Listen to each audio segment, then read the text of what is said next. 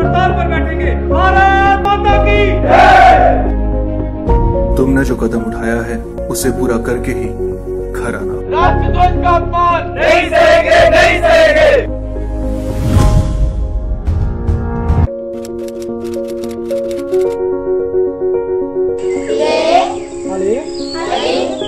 चमनलाल जी मेरे बड़े भाई वो दादा दादी जी के साथ गाँव में ही रह रहे थे।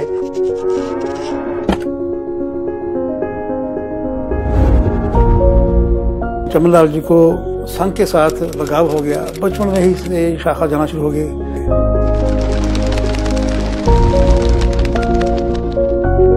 देश के लिए कुछ करने की उनकी मन की इच्छा जो है वो एक प्रबल हो गई। कल से हम लोग भूख हड़ताल पर बैठेंगे। भारत माता की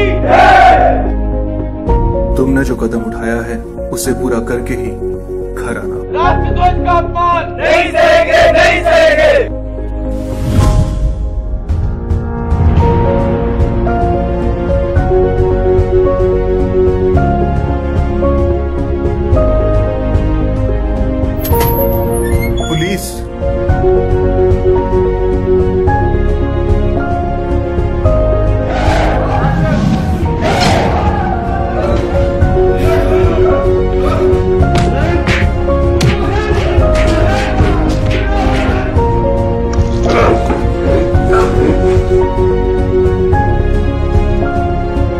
बारहवीं की जो परीक्षा थी वो भी उन्होंने जेल में से ही दी।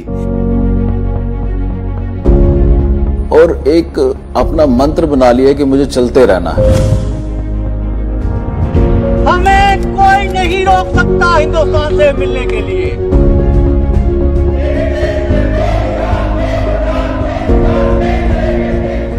प्रजा परिषद ने एक आंदोलन फूंक दिया यहाँ पे।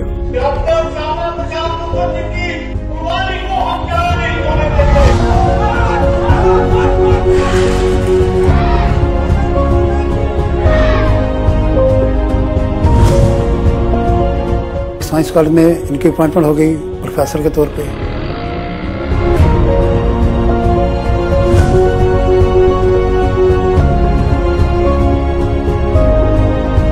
सरकारी नौकरी से त्याग पत्र देकर राजनीति में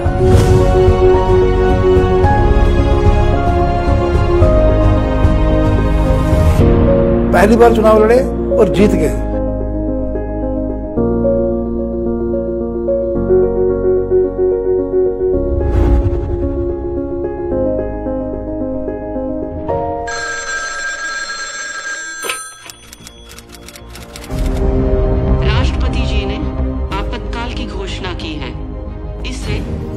आतंकित होने का कोई कारण नहीं है।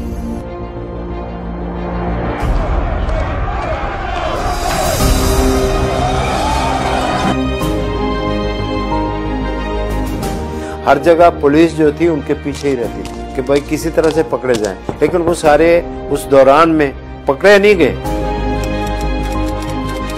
एक माँ के पाँच बेटे जो हैं इमरजेंसी के खिलाफ खड़े थे वो प्रोफेसर साहब का ही परिवार था हमारे पिताजी का परिवार था।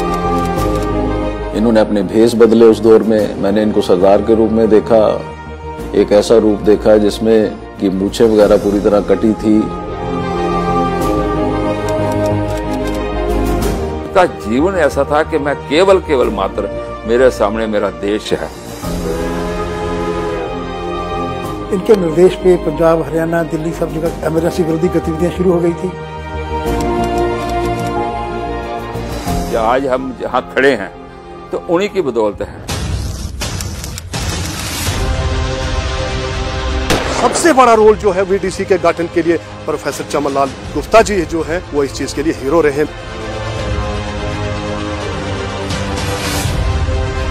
अगर वो समर्थन नहीं करते तो शायद हम लोग आज यहाँ पे नहीं। होते तो हमारे लिए हमेशा वो प्रेरणा का स्रोत रहे हैं।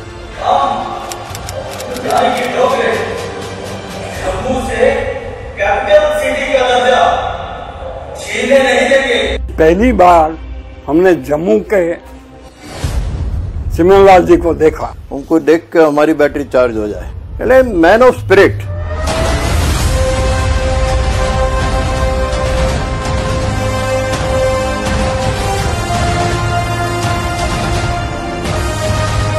तेरी शानो शोकर तेरी ज़िंदा दिली। तेरी शोहरत को क्या बयान करूँ? शब्द तो बनने के लिए इसके अभी भी बाकी है